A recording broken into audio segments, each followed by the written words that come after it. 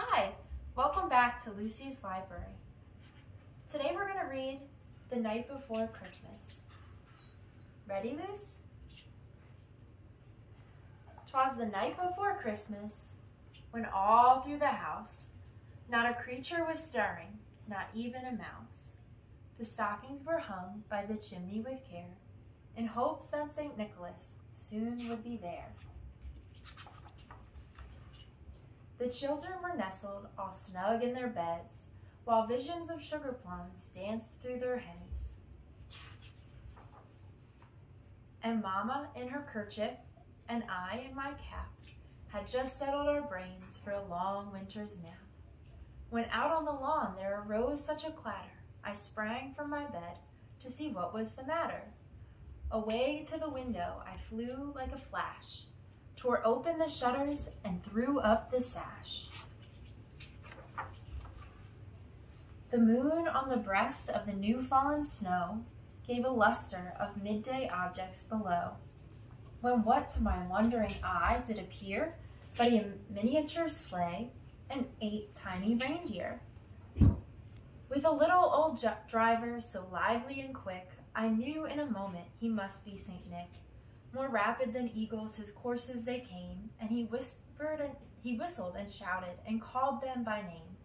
Now Dan Dasher, now Dancer, now Prancer and Vixen, on Comet, on Cupid, on Donner and Blitzen. To the top of the porch, to the top of the wall, now dash away, dash away, dash away all. As the leaves that before the wild hurricane fly, when they meet with an obstacle, mount to the sky. So up to the housetop the courses they flew, with the sleigh full of toys and St. Nicholas too. And then in a twinkling I heard on the roof the prancing and pawing of each little hoof. As I drew in my head and was turning around, down the chimney, St. Nicholas came with a bound.